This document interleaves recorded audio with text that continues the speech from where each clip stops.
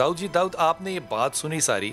आप इस पे अपना एक प्रोफेशनल तबसरा कीजिएगा कि आप इस कहानी को किस तरह से देखते हैं और आपके ख्याल में डायग्नोसिस क्या है आपका? बिलाल भाई सलामकुम सबसे पहले ये कि मैं इस सारे मामले को बड़े ध्यान से सुना भी और मैंने इसके ऊपर पूरी तहकीक की और जो मेरे सामने जो इनकी पूरी तस्वीर आ रही है मैं उसको बताना चाहता हूँ आपको।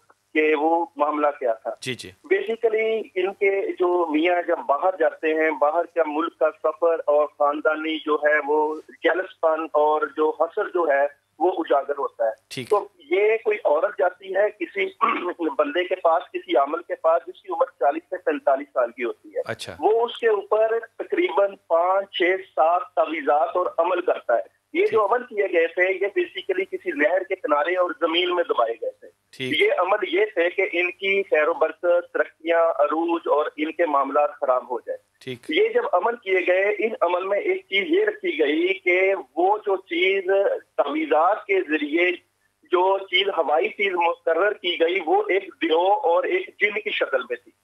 जिसका काम ये होता है कि वो दूर सफ़र करती है और जाके किसी भी बंदे को पकड़ना हो तो वो पकड़ लेती है। तो आपके ख्याल में वो जो, जो इनके वालिद की डेथ हुई वो भी इसी वजह से हुई?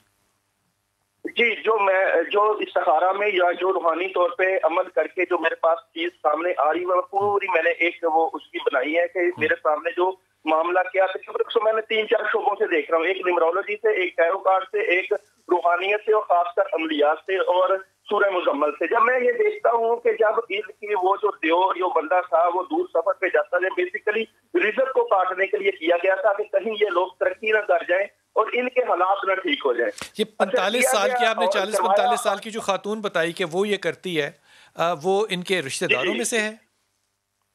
जी वो इनके रिश्तेदारों में थी और वो अमल किया गया रिज़र्व की तंगी के लिए। वो चीज़ अभी भी मौजूद है। अच्छा। वो जो चीज़ है उसके वो उसकी डेथ के बाद भी इनके घर आती है क्योंकि वो तवीजात वहाँ से बिल्कुल नहीं निकाले गए। वो वहीं पे मौजूद है। इसीलिए कहा जाता है कि जादू का जब तक इलाज ना करवाया जाए उसको खत्म ना किया जाए तो ये नस्ल दर नस्ल भी चलता रहता है। अब हुआ ये है कि उनकी मौत के बाद अब ये जो वो चीज़ है वो देव जो नज़र आता है वो इनके घर आता है वो इनकी चीज़ों को खराब करता है और हम्म। खासकर इस वक्त टारगेट शाहदा की सेहत है जो उन्होंने अभी नहीं बताया कि अच्छा। मेरी सेहत दिन ब दिन वीक होती जा रही है हम्म। शाहदा की सेहत का वीक होना कमज़ोर होना और इनकी तबीयत खराब रहती है कंधों पे वज़न सर पे दबाव नींद का दाऊद भाई साथ रहिएगा साथ रहिएगा साथ रहिएगा। मैं मैं बाकी लोगों की भी राय ले लूँ। शायद आपकी तबीयत कमज़ोर होती जा रही है वक्त के साथ साथ ये उम्र का तकाजा है या आपको लगता है कि वाकई ऐसा है हो रहा है? जब अच्छे वक्त थे ना जैसे बच्चे हैं ना छोटे वाले ये वाले जी जी। तो थे हम शादी तो ये मुझे कूलों से ना गोश्त जैसे वो नहीं होती क्या कहते हैं काविया काविया कूलों में जैसे किसी ने लगाया तो इस तरह से उतरता था। तो मुझे इतनी दर्द होती थी पे कि मुझे यूँ क्यों हो रहा है? मैं समझती ना किसी डॉक्टर को बता सकती कुछ भी नहीं। मियाँ का तो खैर एक्सीडेंट बहुत देर पहले ही हो चुका हूँ अभी भी आपको कमज़ोरी महसूस होती है? कंधों पे बोझ महसूस होता है? शक्ल बिगड़ गई आँखों पे है ना?